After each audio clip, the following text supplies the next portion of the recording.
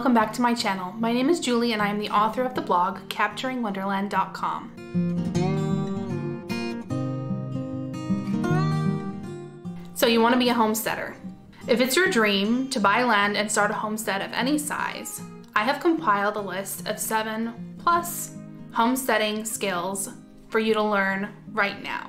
Don't wait for someday. Just because you can't do it all right now doesn't mean that there's no preparation for you to do. There are definite skills that you want to start learning right now simply because all of these skills will take time to master. And even if you can't do some of them, you can start your research. So let's talk about the seven plus homesteading skills that you can start learning immediately to start a homesteading journey wherever you're at in life right now. The first skill that you can learn right now is how to grow food. There are two main ways that you can start growing food of your own, either from seed or by starts. Both of them have their pros and cons, their advantages and disadvantages, and I have gone into greater depth about the advantages and disadvantages on the blog post. So I will leave a link to that in the notes below if you want to go ahead and check that out. The six main things to consider when you want to start growing food of your own are location you're planting, optimal sun or shade exposure for the seeds or plants that you will be growing. Soil nutrients. If it's lacking, you'll want to get it tested. Go ahead and get that done so that you know if you need to amend your soil at all. The plants, either the seeds or the starts, your frost dates, to know exactly when to plant those plants. Mulch, to cover the base of the plants for weed control, as well as moisture control. Also, plant food and a watering schedule. Those are all great things to consider and to plan on. The number two skill you want to learn is food preservation. There are several ways that you can preserve food, but the five main ways I'm going to focus on today are drying, pickling, fermentation, canning, and freezing. Here are the six most common methods for drying food used today. Sun drying, air drying, solar drying, oven drying, electric dehydrating, which is the most popular, and dehydrating in a microwave or an oven. Pickling and fermentation. Pickling is preserving vegetables and fruit in brine or vinegar.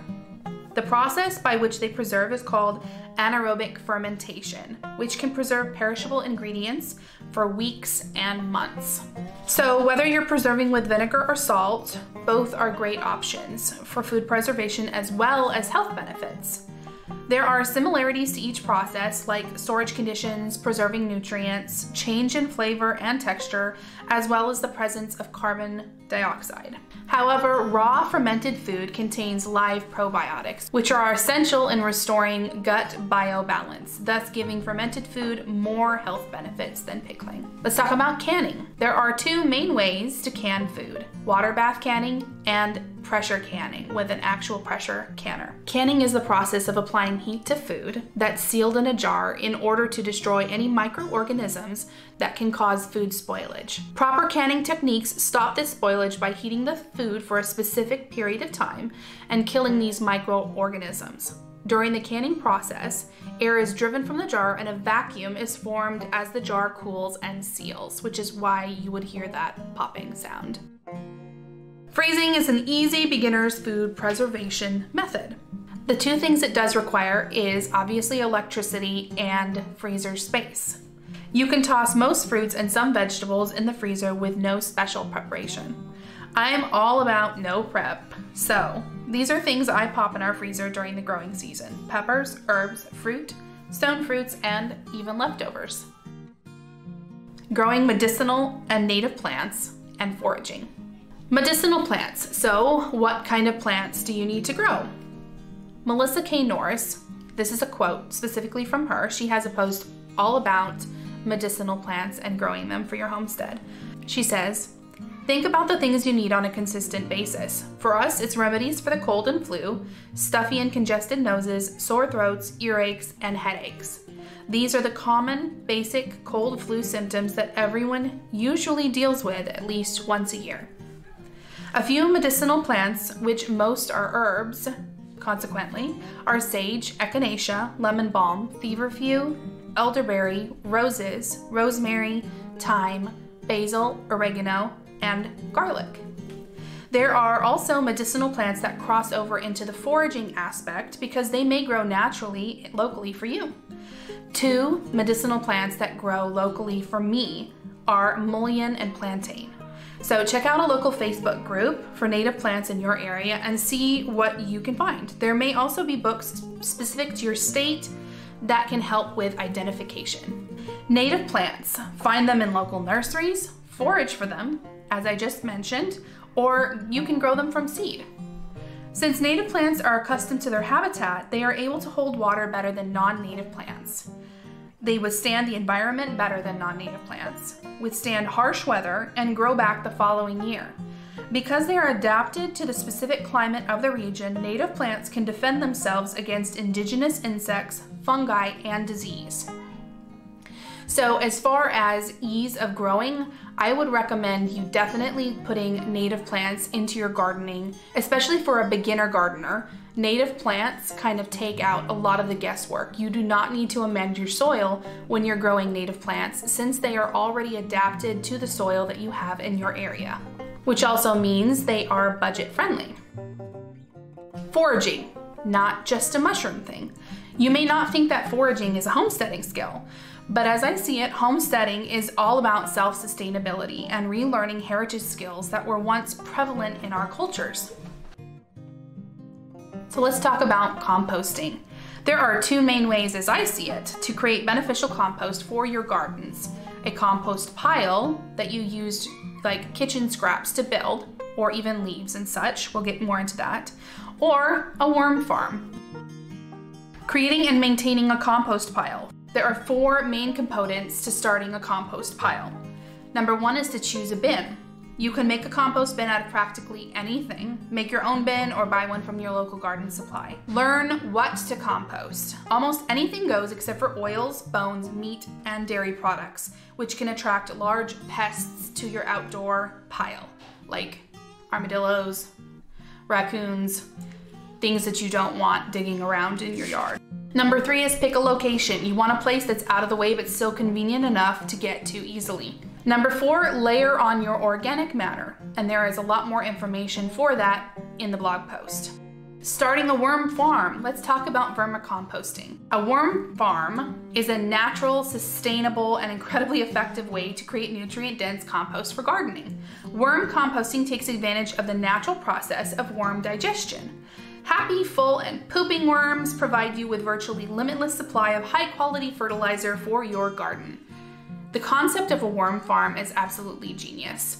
I have seen some really cool YouTube tutorials where you take an 18 gallon bin, just, you know, a $5 bin that you find from Walmart, and you poke holes all in the bottom of it, and you actually stack them on top of each other, and then you use a specific type of worm, which is a red wiggler, and you order them. And how you set it up is laid out step by step on the website in the blog post, which will be linked below. What is worm farming and how do you do it? One of the best and most cost effective ways to generate nutrient dense compost is to start a worm farm. This compost is ideal for home gardens while being far easier to attain and less expensive than other composting methods. So if you're on a budget, this is definitely the way that I would go.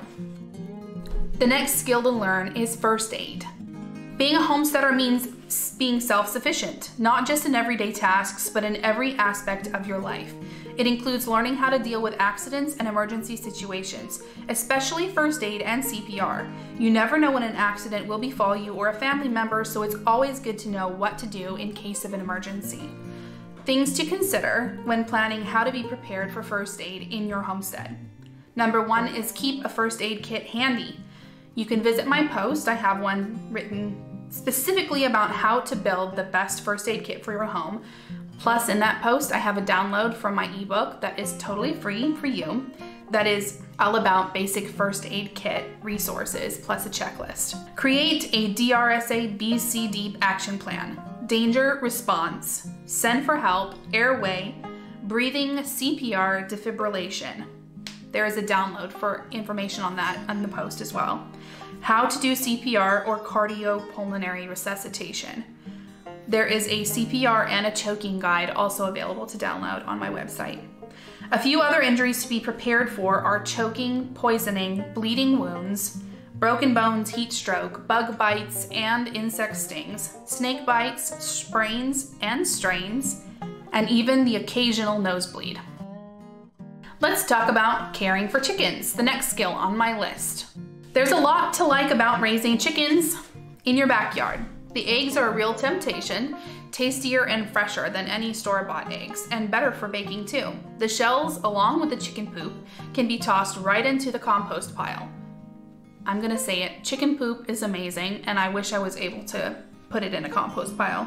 Much of the day, the birds entertain themselves picking at grass, worms, beetles, which is another benefit to having chickens, is they are actually a really great form of pest control as far as unwanted insects. And all of the good things that go into making those yummy farm eggs. Plus, with their keen eye for insects, pests, chickens make for great gardening companions. Remember though, nothing good comes easy. Caring for chickens is obviously no walk in the park. So there's 10 things that I think that you should know before getting chickens. Number one, to check your laws. Number two, you don't need a rooster. Number three, get the right size coop. Number four, hens only lay for a few years. Number five, hens don't lay year round. Now, if you can't own chickens, at least research it. Um, one great resource I have found is actually a YouTube channel by Justin Rhodes. He has so many resources. He actually started out by doing resources specifically for raising chickens. You may be in the same position that I am. It is illegal for me to even own a few backyard chickens in my small rural town. So if you aren't currently living in an area that will allow even a few backyard chickens, that's okay. Start your research now. Read books, watch YouTube videos, as I suggested, um, on the care that keeping chickens requires. You want to have your brain already in that mode before you can even go down to the, the farm store and pick up some chicks. Owning animals is a responsibility, so you really want to be prepared.